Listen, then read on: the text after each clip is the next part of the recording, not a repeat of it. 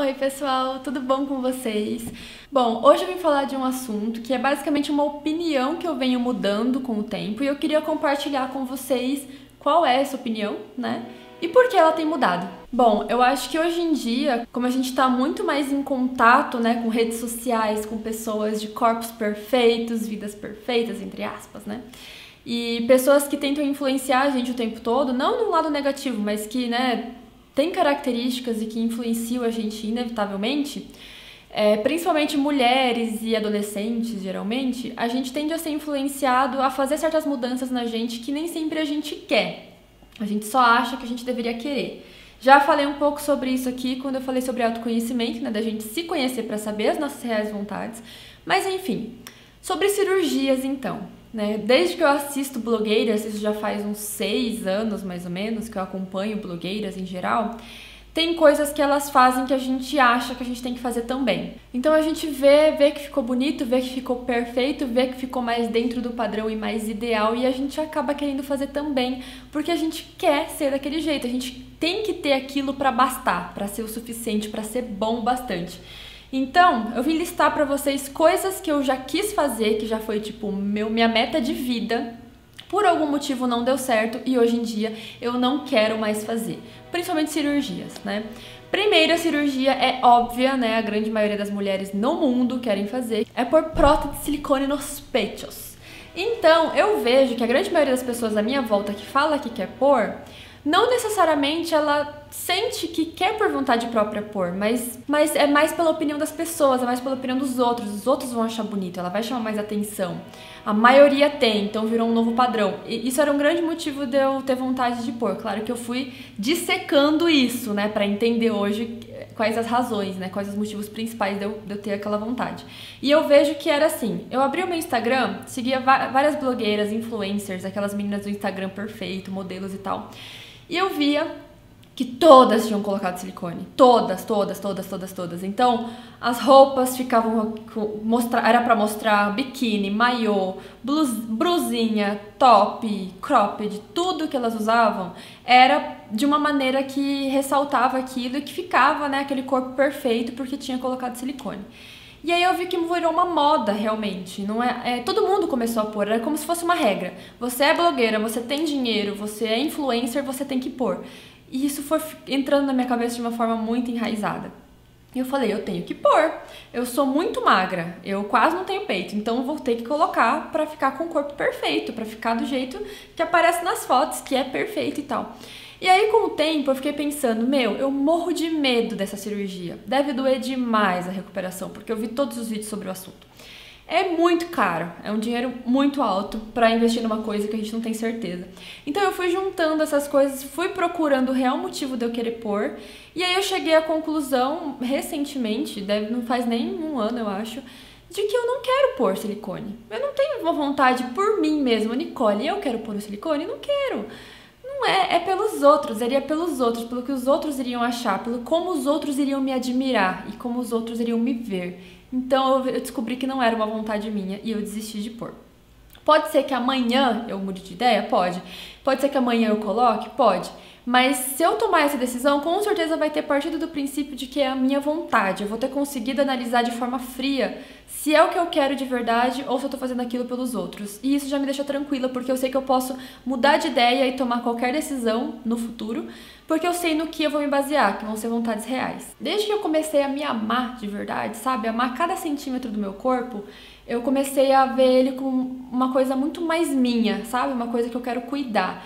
E aí essas essas coisas agressivas para mudar o meu corpo do que ele é natural e transformar numa coisa nova, tem que ter muito cuidado quando a gente vai fazer isso. Realmente tem que ser uma coisa que, que a gente sente que é da gente, sabe? Que partiu da gente e que a gente faria aquilo independente de, de qualquer influência externa. Outra coisa que eu sei que vocês vão querer me matar quando eu falar é rinoplastia. Eu já quis fazer rinoplastia. Mas Nicole, não precisa. Gente, eu sei, hoje eu sei que não precisa. Eu vou até dar um zoom aqui para eu explicar isso para vocês. O meu nariz, ele sempre foi perfeitinho. Quando eu era mais nova, ele era muito mais bonitinho ainda. Ele é lindo, mas ele era melhor.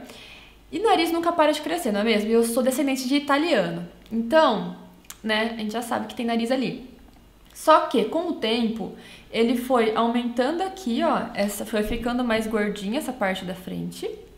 E foi crescendo um calombinho aqui. Eu vou ficar bem de lado para vocês verem, não sei se vocês conseguem ver. Um mini calombinho aqui. Aí ele foi ficando um pouquinho curvadinho. Isso não existia. Esse calombinho aqui era reto e aqui não era assim, ele era bem arrebitadinho, ele era bem, tipo, fininho e pontudinho, né? Um dia, no passado. Então, quando eu fui vendo que ele foi criando isso aqui e foi aumentando aqui e tal, e também porque às vezes eu via foto minha muito de perfil e ficava uma coisa enorme. E eu lembro quando eu tava na escola, um menino que ele tinha uns seis anos, sei lá. Era um pestinho assim, sabe? Ele queria me zoar. Daí eu lembro que ele começou a me chamar de nariguda. Meu, naquela época eu devia ter uns 13, 12, 13 anos. Meu nariz era uma coisa mais linda do mundo, só que ele sempre foi um pouquinho grande, não é grande, mas ele sempre foi um pouquinho pontudo assim. E eu acho que na cabeça do menino ele, ele achava o nariz grande. E eu nunca tinha parado para pensar no meu nariz. A partir do dia que aquele menino começou a falar, ele passava correndo assim por mim e gritava nariguda. Eu comecei a me importar com aquilo, eu era muito nova, então eu comecei a reparar. Eu falei, nossa, vou ter que diminuir, vou ter que tirar aqui, tirar aqui, tirar aqui. E ele não parou de crescer nunca, até hoje, né? Ainda às vezes eu olho e falo, caraca, que nariz. Porque aqui, ó, quando eu olho no espelho sem maquiagem de frente, aqui é bem gordinho. Por muito tempo isso me incomodou. Falei, não, vou fazer uma rinoplastia, vou mudar esse nariz, vou, não vou, só vou raspar aqui. É o que eu quero, raspar e tirar um pouco aqui. Aí, isso faz tempo. Aí eu fiquei, fiquei, fiquei. E vi vídeo, vi né, na internet, pesquisei, pesquisei, pesquisei. E com o tempo foi passando e eu fiz aquele mesmo esquema de me conhecer, pensar igual pensei no silicone. Eu falei, meu, eu não preciso ter o nariz igual, igual fulana tem, igual aquela menina tem. Todas as blogueiras estão fazendo rinoplastia, mesmo sem precisar algumas. E estão ficando com o nariz tudo igual. Todas com o nariz querem ficar com o mesmo nariz. Eu não preciso. E eu, eu comecei a pensar, eu gosto do meu nariz. Ele não é do jeito que elas, do jeito que é o nariz delas. Meu nariz não tá do jeito que tá ficando o delas depois da cirurgia. Mas eu não quero necessariamente que fique igual. Eu gosto do meu nariz.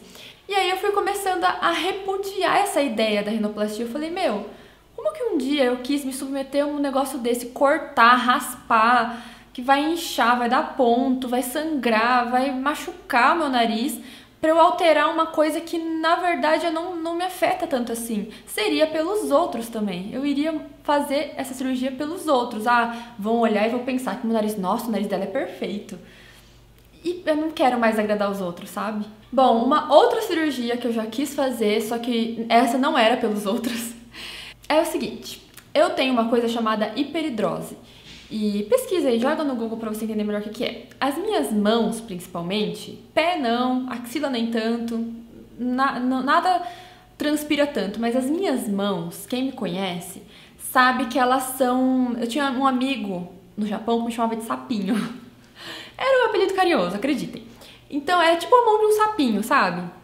É molhada, é úmida o tempo todo, ela é gelada o tempo todo, e agora ela está gelada, por sinal, mesmo sem estar frio e, e mesmo sem ter algum motivo externo, ela está sempre meio gelada, às vezes muito gelada, e sempre muito úmida. Quando eu seguro um celular, por exemplo, eu coloco a minha mão aqui e seguro ele aqui, às vezes escorre suor aqui, ó. Já aconteceu de escorrer aqui.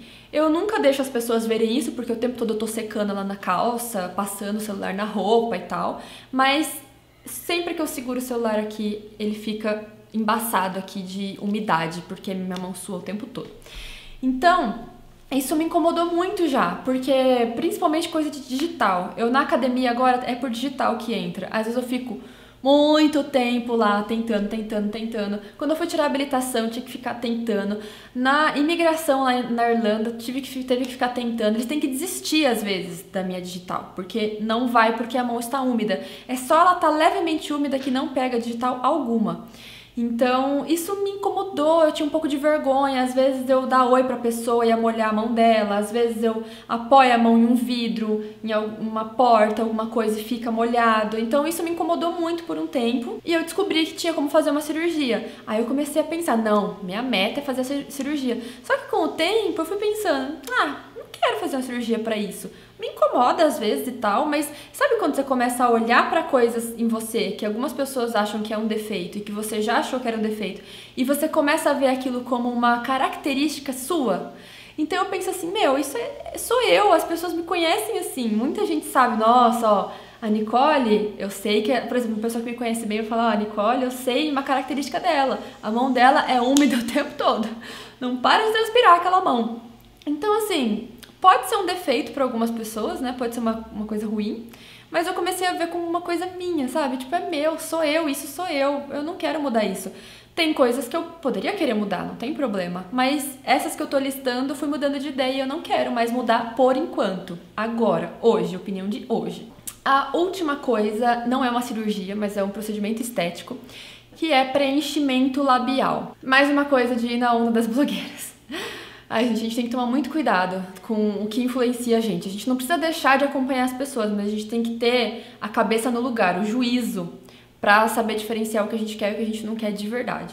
Eu vi que todas começaram a fazer. E, gente, pode reparar. Quem acompanha blogueira pode reparar. Às vezes a menina não é tão conhecida, tem um canal pequeno, não tem tanta gente acompanhando. Começa a crescer um pouco, ela começa a fazer tudo isso. Ela coloca silicone, faz bichectomia, coloca mega hair. Vocês sabiam? Toda blogueira praticamente tem mega hair? Eu não tenho e não tenho vontade de pôr.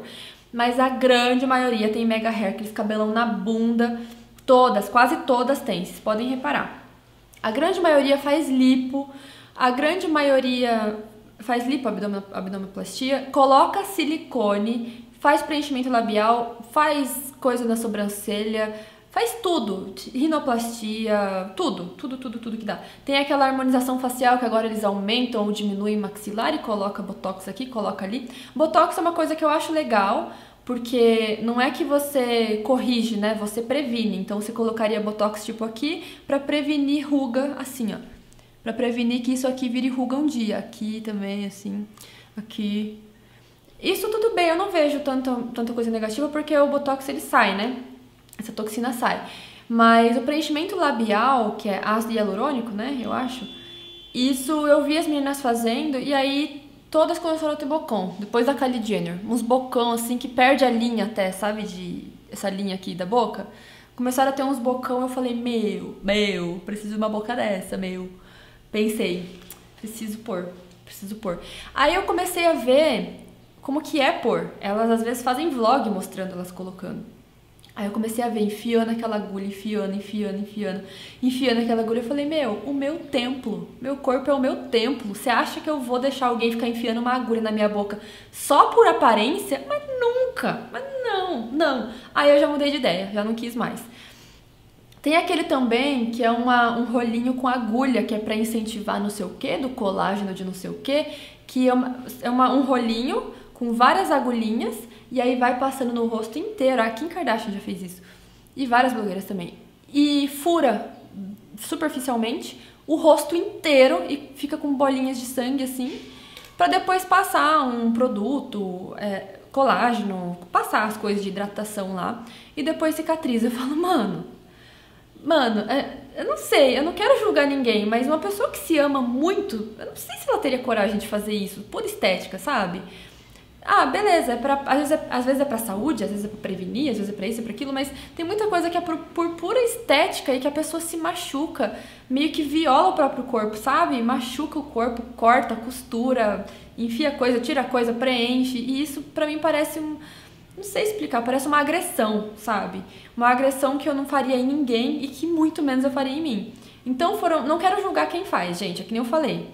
Quando você tem uma vontade real, vê que aquilo vai te deixar muito mais feliz, que você realmente tem uma vontade de fazer aquilo desde sempre e que essa vontade não é influenciada por ninguém e tal, não é por moda nem nada, aí tudo bem, cada um tem que fazer o que quer, mas eu, é isso que eu tenho que. É isso que eu quero passar para vocês, a gente se questionar, saber o real motivo da gente querer as coisas. Foi me questionando, questionando essas vontades que eu tinha, que eu fui descobrindo que não eram vontades minhas. E aí elas desapareceram e hoje eu estou muito mais feliz. Bom, gente, o vídeo ficou longo, mas consegui passar pra vocês o que eu queria. Espero muito que vocês tenham gostado. Comentem aqui qual cirurgia você quer fazer, por quê, ou qual você já quis fazer um dia e por quê também. Curta o vídeo se você gostou, se inscreva no canal, me segue lá no Instagram, arroba Um beijo e até o próximo vídeo.